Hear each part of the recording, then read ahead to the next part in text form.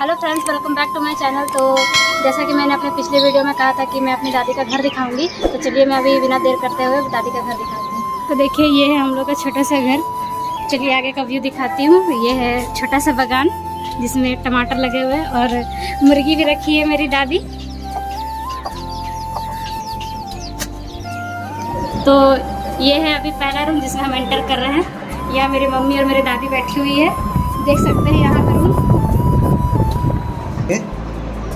अब यहाँ से हम लोग अंदर जाते हैं तो ये है किचन, छोटा सा है।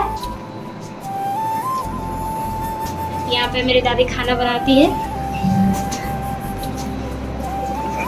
अब ये है थर्ड रूम यहाँ पे बहुत सारे सामान रखे हुए हैं। यहाँ पूजा रूम भी है।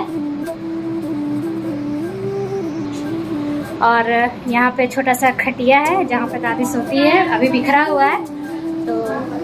दोस्तों, आप लोगों को ये ब्लॉग कैसा लगा? मेरी दादी का घर कैसा लगा? मेरी दादी यहीं पे हमेशा रहती है, क्योंकि मेरे दादाजी दादाजी के साथ पहले दादी यहीं रहती थी। तो दादाजी का बहुत सारा यादें यहाँ पे है तो इसलिए दादी यहाँ पे छोड़ के नहीं जाती है इस घर को। तो मेरी दादी और मेरे अंकल रहते हैं, अंकल अभी फ़िलहाल काम के गए हुए हैं तो इसलिए आपको अंकल से नहीं मिलवा पाई। लेकिन आप लोगों को दादी से मिलकर कैसा लगा, आप लोग कमेंट बॉक्स में ज़रूर बताना। और चैनल को चैनल को सब्सक्राइब कर देना, बेल आइकन को क्लिक कर देना और दादी के लिए इस वीडियो को लाइक कर देना, प्लीज़। थैंक यू इस वीडियो को।